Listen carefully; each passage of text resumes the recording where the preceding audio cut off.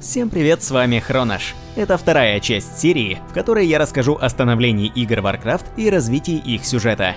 Сегодня вас ждет выпуск исключительно по Warcraft 3 Reign of Chaos, ведь значимость этой части в истории всей игровой индустрии и компании Blizzard в частности сложно переоценить. С выходом Warcraft 3 сюжет в большей степени был поставлен на рельсы. Казалось, что у сценаристов есть готовый таймлайн, который лишь следовало подать в виде цепочки миссий. Но спустя 15 лет с момента выхода этой игры, очевидным становится факт постоянной работы над историей, что в конце концов разрослась до невероятных размеров.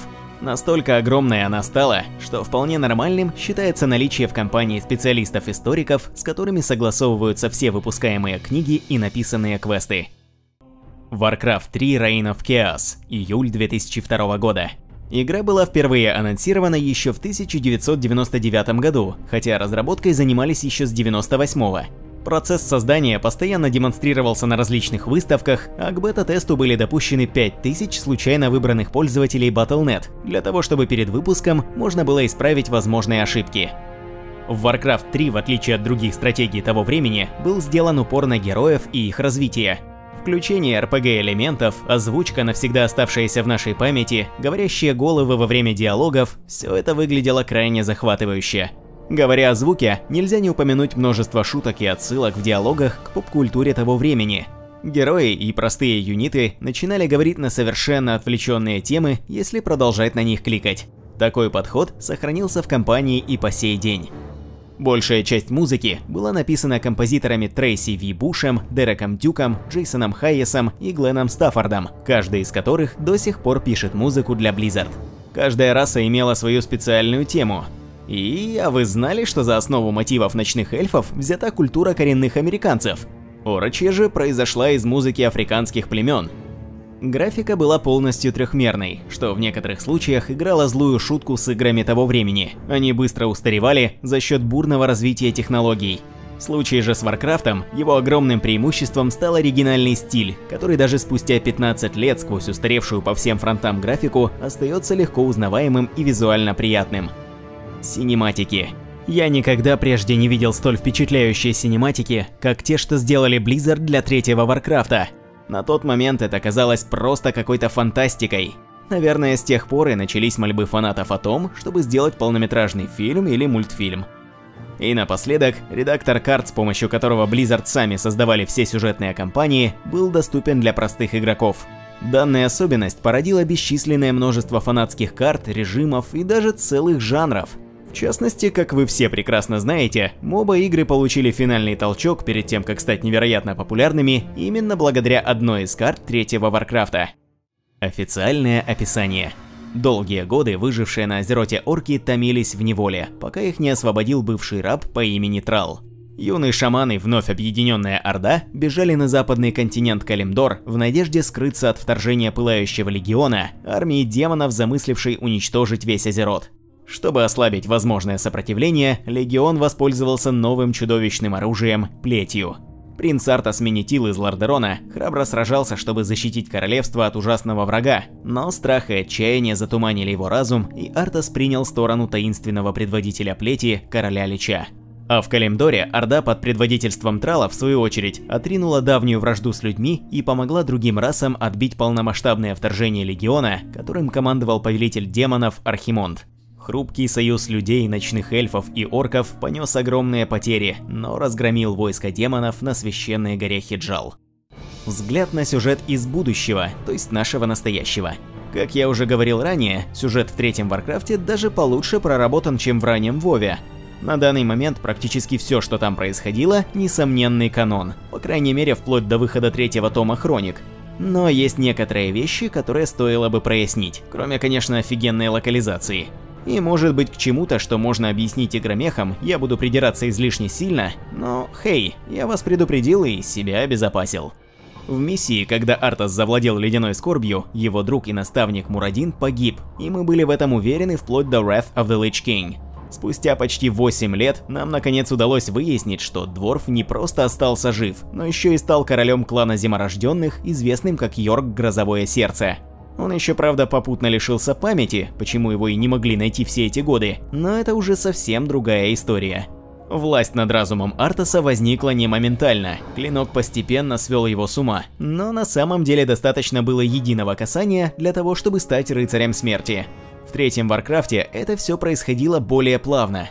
Кроме того, момент с блужданием по пустошам Нордскола довольно спорный, так как принц не особо тянул с созданием лояльных себе прислужников из тех людей, что сопровождали его в северной кампании.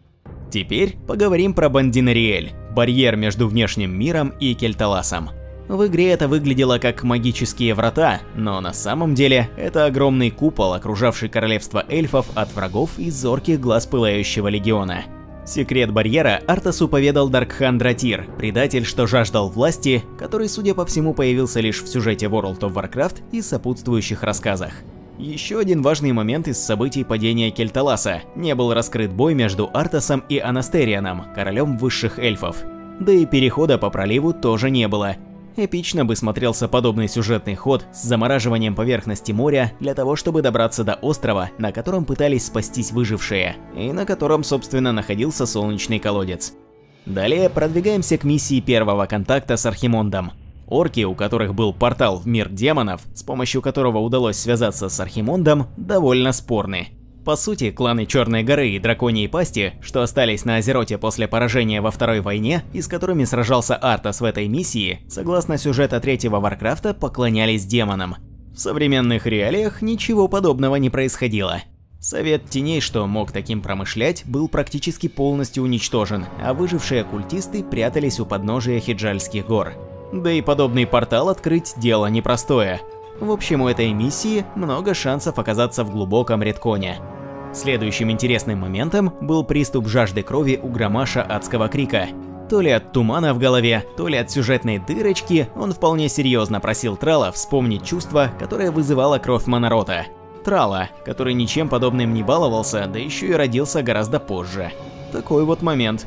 Во время миссии по очистке Громаша от кровавого безумия, его дух пришлось заключить в специальном камне. И это тоже довольно странно, ведь с воскрешениями в Варкрафте все очень скудно.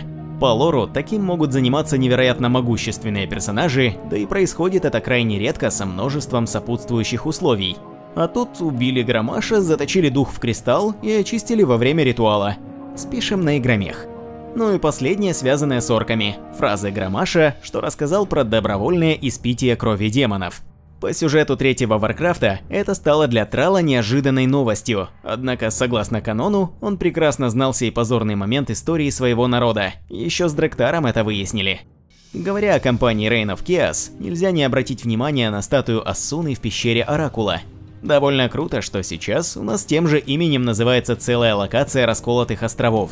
Но, к сожалению, на этом все сходства заканчиваются. Никаких подробностей о таком совпадении имени и названия нет. Хакар его подери. Плавно переходим к Элидану. Сейчас его персонаж вполне понятен, антигерой, которого никто не мог понять и который многим пожертвовал ради благой цели. Но раньше кем он только ни был.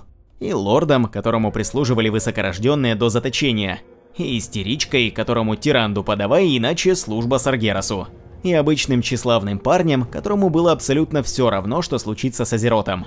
Хотя справедливости ради, стоит все же отметить его стремление помочь своей возлюбленной. Им бы пообщаться друг с другом побольше, а то сплошные недопонимания. Ах да, темница Илидана – это отдельный разговор. Мало того, что ее уже третий раз передвигают, и сейчас для некоторых не до конца понятно, где же томилась наша красавица 10 тысяч лет, так еще и Малфурион с Тирандой напрочь забыли ее местоположение.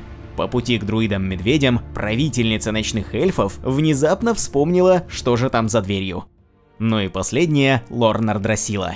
С начала времен древо связывало ночных эльфов с природой, и его гибель привела бы Азерот к уничтожению.